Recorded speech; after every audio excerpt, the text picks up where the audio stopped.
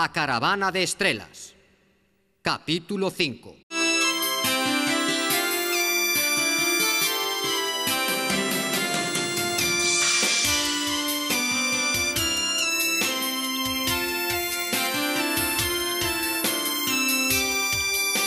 A Comisión Europea presentou hoxe na capital do Camiño, Compostpetria, a Caravana de Estrelas, un elenco de superartistas que percorrerán o camiño. Na súa viaxe demostrará que o camiño das estrelas percorre Europa dándolle vida e enerxía ao vello continente. Claro que despois de imaginar a todas estas estrelas xuntas, un non pode deixar de preguntarse se serán capaces de levarse ben. Como?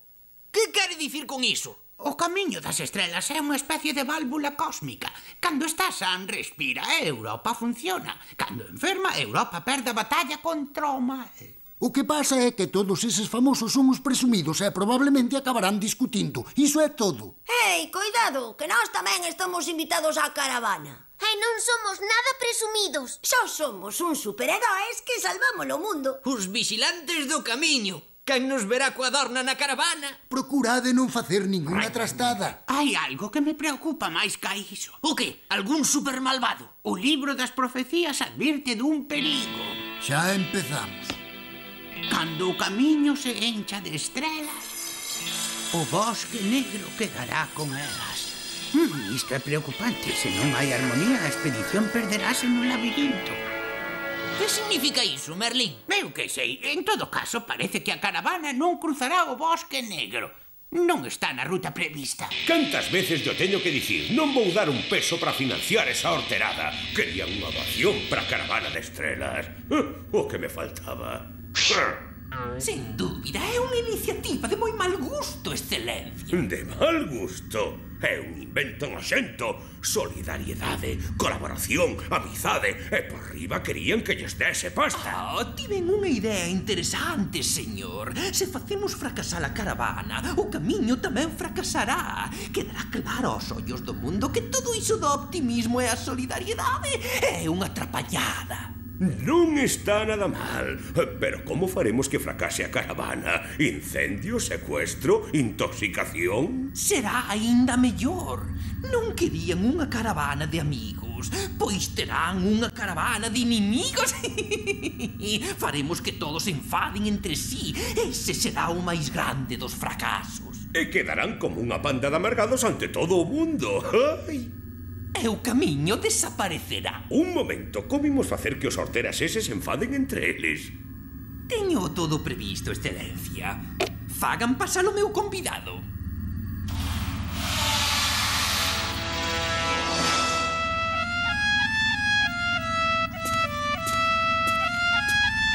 Este que vende, alfombras ou petróleo? É a nosa arma secreta, excelencia.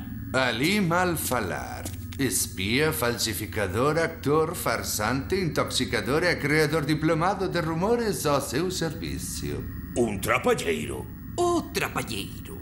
O mellor do mundo. O meirande sementador de cizaña do planeta. Ai, non sei. Ti crees que... Permítame, excelencia. Balbino xa me advertiu que vostede... En fin, que tardaba algo en entender as cousas. Como? Dixéchese iso, rata noxenta? Non, eh, non, non, eh, eu non lle dixen nada. Si, sí, home, lembra, foi mentre lle remexiamos na neveira. Na miña neveira? Puxeche as túas patas na miña neveira Voltas naquizar condenado roedor. Ei, calma, que todo isto non foi máis con a pequena demostración. Viu, xefe, fixo que nos enfadasemos con dúas frases. Oi, carai É un fenómeno. E podemos aproveitar as súas mañas ata por carta.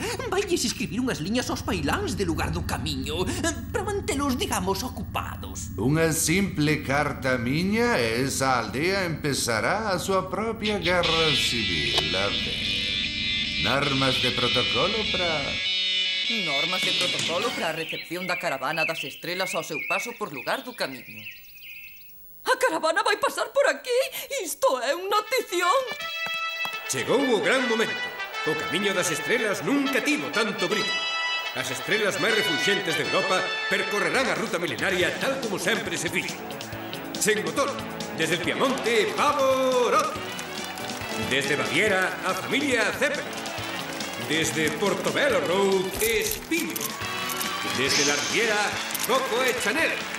desde algún lugar del mundo salta hasta Tecnoreteiras. Un momento, hay algo raro en usted. ¿Qué hizo que voa Caracas? Son eles! ¡Hey, primo Roy, estou aquí!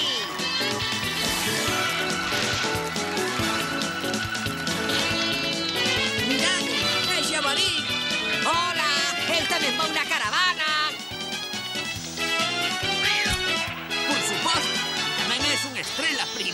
Non, Roy, deixa iso. Xa eh, non son o que era. Agora son un tipo humilde, solidario, comprensivo. Que? Eh, podédelo crer. É como se a maxia do camiño me cambiara. Este é un bo sitio. Xa verás que choio. Non sei, tío. Co ben que estábamos na espionaxe...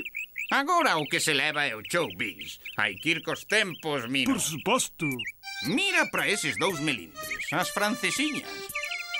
Seguro que non teñen nin representante. Perdoen, esta caravana é a das toaletes. Que? Por suposto que non. Isto é o noso cuartel xeral, monada.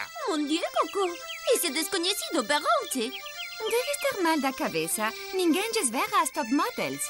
Pobrinho. Non estou mal de nada, señoritas. Permítanme presentarlles. Somos Max e Mino, productores executivos. Somos o futuro da industria do entertainment. Vamos, Chanel. Pode ser perigoso. Pobre, tan jove e tan papón.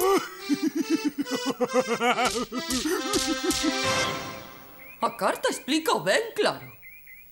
No palco de honra teremos que estar Curro e máis eu. Que fai curro no palco de autoridades? Mira quen falou, o científico. Serás ignorante. Non vos pelexedes. Mirade para Merlín. Del tampouco di nada a carta e aí está tan tranquilo. Ei, como que de min non di nada? Seu camiño renaceu gracias á miña maxia. Sí, home, sí. Menos lobos. Que é iso de menos lobos? A máxica compospetria agarda por nós. Donas e cabaleiros, Europa inicia hoxe unha nova etapa da súa historia. Empeza a conta atrás. Dez, nove, Que maneira de desafinar! A xente xa non sabe contar ali tal e comando. Unha carreira sen apostas, que pouco espírito deportivo.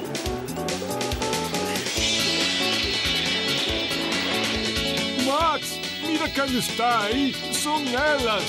Ai, as tecnoleteiras. un, adiante.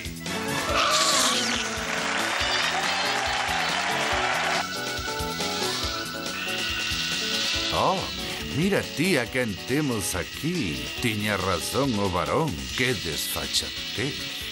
Quen é vostede? Se quere autógrafos, veña mañá pola mañá. Agora non teño forzas. Quen vai querer autógrafos de alguén que non sabe solfexo? Que eu non sei solfexo? Ah, quen dixo tal? O varón von Zeppelin, un home moi sincero. Tamén dixo que vostede usaba perruca. Que? Iso é intolerable! Francesco, presto! Imos facerlle unha visita a ese mentirán!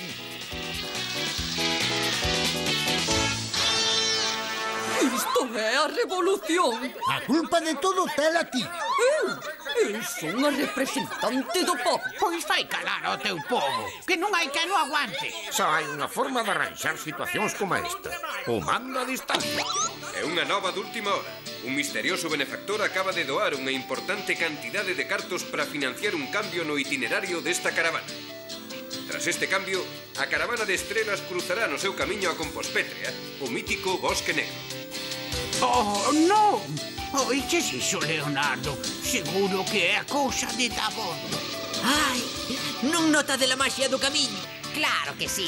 Síntome cheo de forza e de boas vibracións. Voulle poñer a cara do revés, especie de cabra estúpida!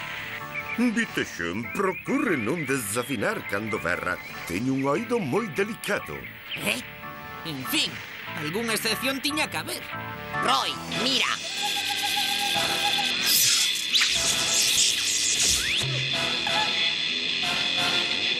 ¿Qué está pasando aquí? Creo que sei o que pasa. Que todo o mundo toleou. Non, hai un tipo por aí con mala pinta que din que é xornalista. Seguro que el é o culpable de todo. Ai, sí! Pois voulle poñer as cousas claras. Non, espera, irei eu. Se cadra é un mago ou algo así, e ningunha maxia poderá vencer o meu novo espírito solidario. Oh.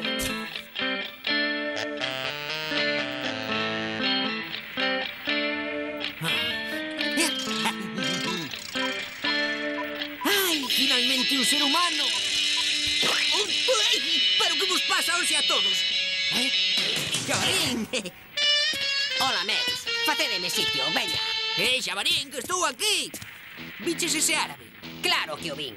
Pero non che vou dar explicacións. Eu non falo con fracasados. Fracasado? Pero non estabas cheo de enerxía positiva. Oh, Roy, estás feito un pesado. Tesme farto. Ei, colegas, temos que ir despois a tomar algo con malfalar. É eh? un tipo genial. Corren un gran perigo, estou seguro. Aquí dio ben claro. Cando o camiño se enche de estrelas, o bosque negro quedará con elas. Isto está claro. E tamén di que o veleno que as estrelas enterra é veleno que nace na terra. Veleno que nace na terra. E isto que quere dicir? Mira isto. Está cheo de famosos. Seguro que precisan un representante. Case que me gustaba máis ser espía de Dabondo. Veña, meu, espabila, non queres ser productor executivo. Pois hai que ser agresivo. Mira, ali está o grupo S. As tecnoreteiras, coidado, Max, son terribles. Pois aproveitémonos das súas enerxías desa agresividade que manifestan. Será un bombazo comercial. Só precisan dun experto en mercadotecnia. E alá vou eu E non vou tolerar que me contraríes. Pois a min díxeme un xornalista árabe que os cámaras teñen que ser os que decidan o plano e tamén teñen que decidir... Queres calar dunha vez? Viña enfoca que empezo! A caravana das estrelas continúa o seu camiño cara a Compostela. Os famosos comparten estes días cociña, camiño e manta. Todo é cooperación, solidariedade e alegría. Dende a caravana das estrelas uxía para Xabarín News. Ah!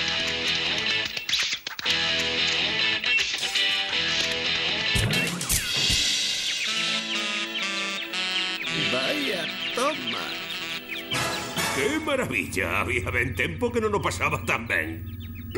Mal falar está facendo un gran traballo. Por certo, agora que o di, recomendoume que te despedira. Que? Era unha broma, home. Pero que cachondo mental estou feito.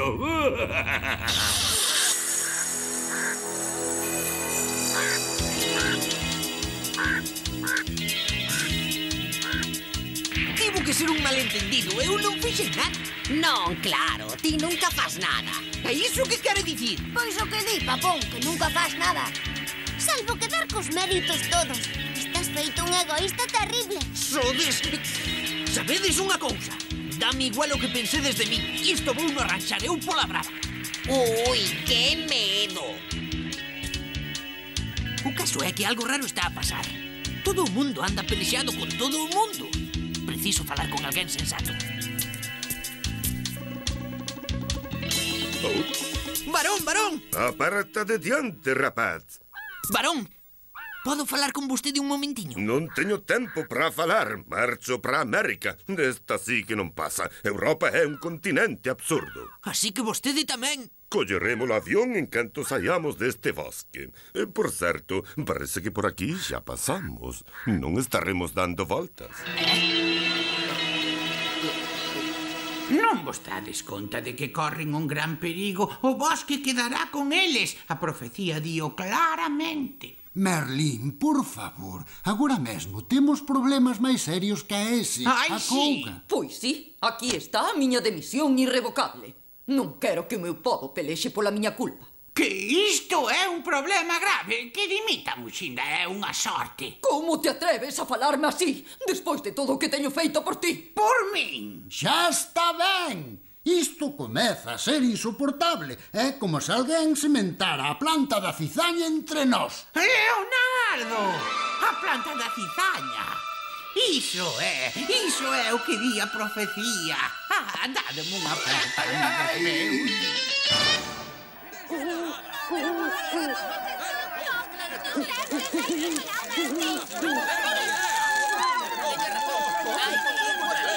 te poñendo como unha verdadeira foca.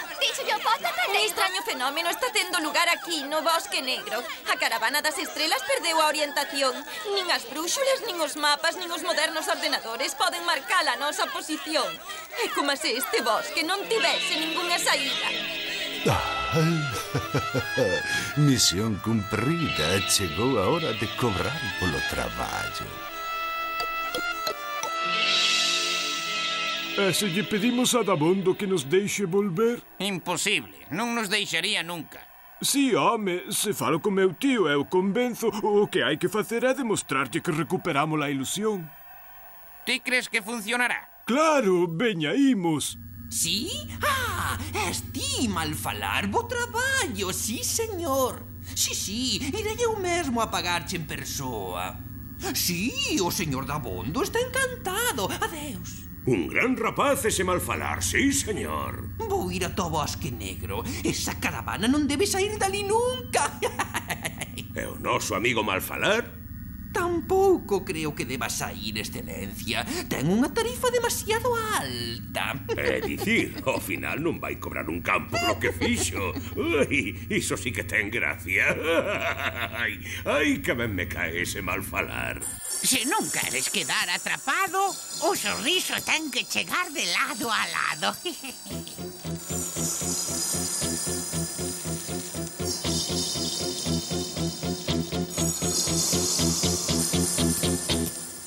Merlín, que fas aquí? Hola a todos. O que faltaba. A que vira este? Será pesado. Que lles pasa a estes? Non o sei. Están como embruxados. A ver, a ver. Amargados, con mala cara, alporizados e sen ganas de facer nada. Sí, xusto. Que teñen? É a maldición do bosque, Roy. O xefe está moi contento contigo, amigo malfalar. Díxome que che vai pagar o dobre do acordado. Vai che dar os cartos el mesmo. Está fora do bosque, esperando por ti. Perfecto. Eh, por onde se sae daqui? Moi fácil. Ves esas árbores? Pois por aí, todo dereitiño. Ata logo, Balbino. Foi un placer.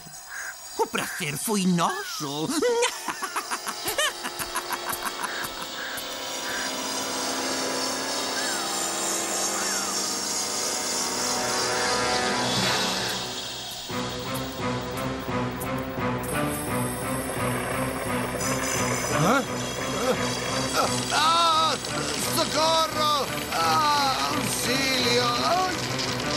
todos ahí. Sempre me gustaron os sons da natureza. A profecía advertía de que un veleno paralizaría para sempre a caravana aquí, no interior do bosque negro. Agora sabemos que ese veleno é a cizaña. Alguén estivo traballando para poñervos a mal entre vos. Mal falar. Ei, ti, non te metas cos meus colegas. A única maneira de topar a saída deste bosque é recuperar o bo humor. Perdoa, Merlín, pero as túas profecías están baixando escandalosamente de nivel. Recuperar o bo humor? ¡Ja! Vaya parvada! Non me provoquedes! Eu non me podo enfadar, senón xa estaría todo perdido. Con que non, eh, bello tolo? Cala a boca, porco inútil! Eh, quero dicir, perdoa, xabarín, pero cometes un erro. Da igual, eu non quero saber nada das túas historias. Roy, queda aquí con eles e vixíos. Necesito atopar máis xente disposta a sair daqui. Non,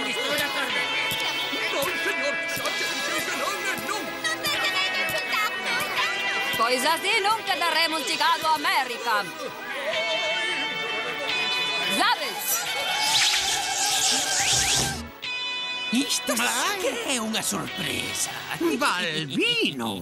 Que gran día para a maxia negra. O camiño das estrelas e Merlín desaparecen no mesmo lote. Ainda estou vivo. Sí, pero nunca sairás daqui. Iso xa veremos. Só preciso que alguén me axude, que alguén me dea un pouco de enerxía. Esquece o bruxo anticuado. Aquí xa non existe o optimismo. Aquí xa non hai esperanza. Aquí ninguén ten unha pinga de bo humor. Eh, tío. Mira, estamos aquí. Eh, felices de verte. Eh? Que alegría. Non! Fora daqui! Non podedes estar felices! Fora! Veña, tío Balbino, déixame darte un bico. Estou tan contento de verte. E eu tamén.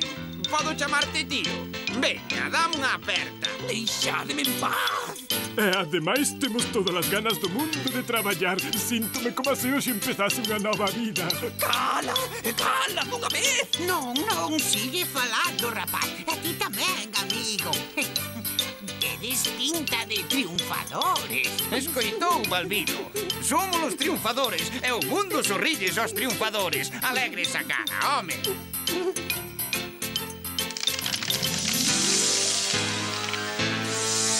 Ei, mira, moveuse o compás.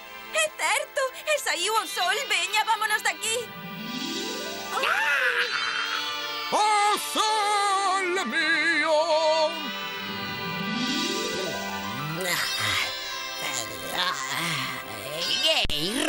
Roy, xa é de día. Que pasa? Falasme outra vez? Pero que dis, meu? Se son eu o teu primo Xamarín, somos colegas. Que che pasa, Roy? Estás amolado? Eu? Que vou estar? Erades vos os que...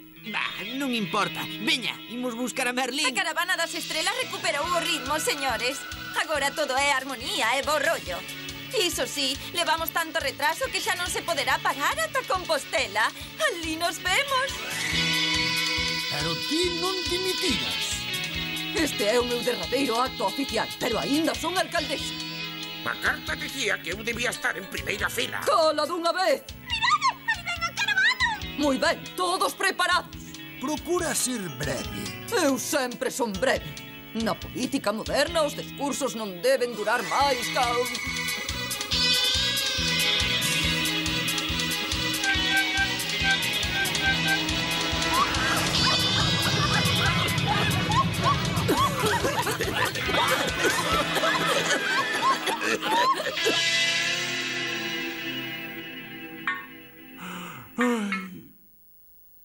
Por lo menos traballamos ao aire libre. Uh, amigos, pode alguén facer por min o turno da tarde? Sí, home, que listo. Já sabía eu que non o farías, Max. E por que o sabías? Dixo o momino, sabe perfectamente o que vas ou non vas facer. Ai, sí. Pero se eu non dixen nada. Así que sabe lo que vou facer, non? Di que o teu comportamento é moi sinxelo, calquera o pode predicir. Con que sí, eh? Pero... Pois sabe lo que che digo, mal falar. Que che vou facer o turno da tarde. Para que aprenda este listiño.